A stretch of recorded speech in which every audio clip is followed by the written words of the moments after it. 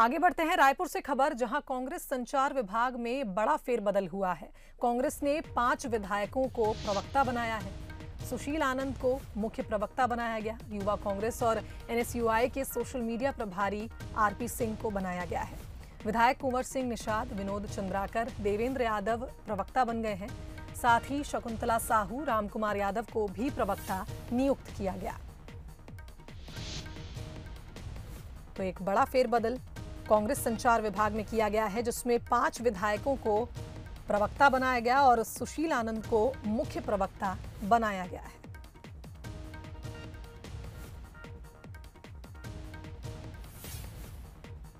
तो आपको बता दें, युवा कांग्रेस और एनएसयूआई के सोशल मीडिया प्रभारी आरपी सिंह को बनाया गया है। वहीं कांग्रेस के पाँच विधायकों को प्रवक्ता नियुक्त किया गया है। तो इस खबर पर हमारे साथ संवाददाता मोहन तिवारी फ़ोन लाइन पर जुड़ गए हैं। मोहन, आपसे जानना चाहेंगे एक बड़ा फेरबदल कांग्रेस संचार विभाग में पाँच विधायकों को प्रवक्ता बनाया गया है। क्या जानकारी? देखिए, अब तक जो प्रवक्ता थे कांग्रेस के, वो संगठन की ओर से नियुक्त थे। सरकार की ओर से जो प्रवक्ता हैं, वो मंत्रियों में से बनाए गए थे। लेकिन कांग्रेस के प्रवक्ताओं में विधायकों को शामिल नहीं किया गया था और क्योंकि अब कांग्रेस जो है, वो चुनावी मोड में जाना चाहती है। अब क्योंकि जो बहस होती है, उसमें सरकारी पक्ष का आना ज़रूरी होता है। इसलिए कांग्रेस के प्रवक्ताओं की लिस्ट में इन विधायकों को भी जोड़ा गया है।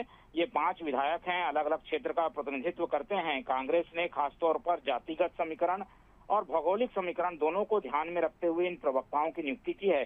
कोशिश ये है कि भाजपा क्योंकि अब आक्रामक हो गई है?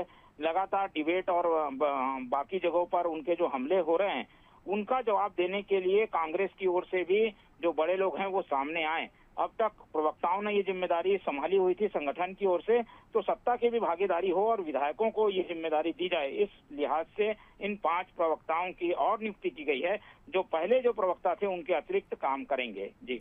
जी, मोहन, धन्यवाद आपका तमाम जानकारी के लिए। तो बता दें, कांग्रेस संचार प्रमुख शैलेश नितिन त्रिवेदी ने ये सूची जारी की है, जिसमें पाँच विधायकों को प्रवक्ता नियुक्त किया गया है। बता दें, कांग्रेस संचार विभाग में एक बड़ा फेरबदल हुआ है। पाँच विधायकों को प्रवक्ता बनाया गया, जिसमें सुशील आनंद को मुख्य प्रवक्ता बनाया गया है।